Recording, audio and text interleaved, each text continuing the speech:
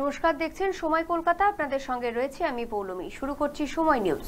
পঞ্চায়েত ভোটের কথা মাথায় রেখে পঞ্চায়েত এবং ব্লক স্তরের সংগঠনকে মজবুত করার বার্তা দিয়েছেন মুখ্যমন্ত্রী মমতা বন্দ্যোপাধ্যায়।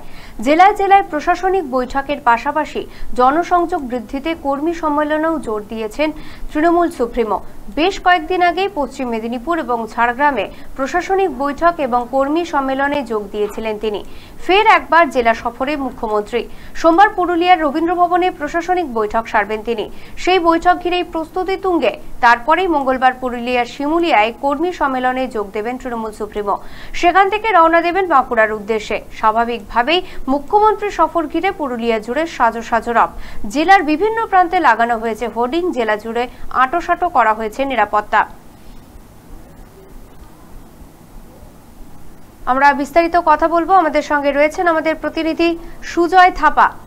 সুজয় পুরুলিয়াতে মুখ্যমন্ত্রীর যে সভা রয়েছে, কর্মসূচি কি রয়েছে মুখ্যমন্ত্রীর? সুজয়, শোনা যাচ্ছে? মমতা বন্দ্যোপাধ্যায় আজকে তার পুরুলিয়া জেলা সফর, বিধানসভা নির্বাচনের পর এই প্রথম তার পুরুলিয়া জেলা সফর, ফলে তার এই সফর ঘিরে যথেষ্ট মনোভাব রয়েছে সাধারণ মানুষের মধ্যে। ইতিমধ্যে কিন্তু প্রস্তুত প্রায় সম্পূর্ণ হয়ে গেছে।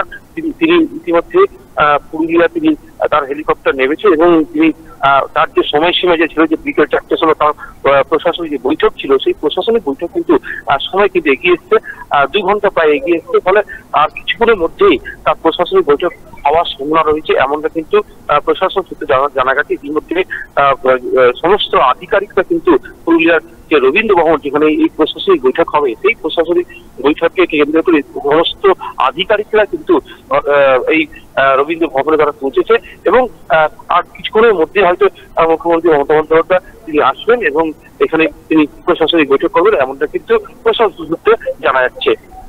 তোমার কাছে যেটা জানতে চাইব যে আজকে যে প্রশাসনিক বৈঠক রয়েছে সেখানে পুরুলিয়ার মানুষের কি কি চাহিদা রয়েছে কতটা আহ, মানে পূরণ করার প্রতিশ্রুতি দিতে পারবেন মুখ্যমন্ত্রী কি মনে হয়?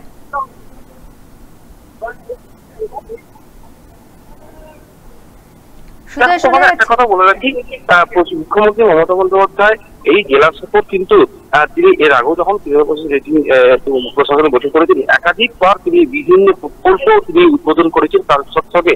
তো বলে রাখি অনেক প্রকল্প উদ্বোধন আহ, করার সঙ্গে সঙ্গে তিনি শিলান্যাস অনেক প্রকল্প শিলান্যাস করবেন। একইভাবে আজকেও কিন্তু তার একাধিক প্রকল্প শিলান্যাস এবং উদ্বোধন রয়েছে। একই সঙ্গে পুরুলিয়া জেলার অন্যতম সমস্যা হচ্ছে যে, জল।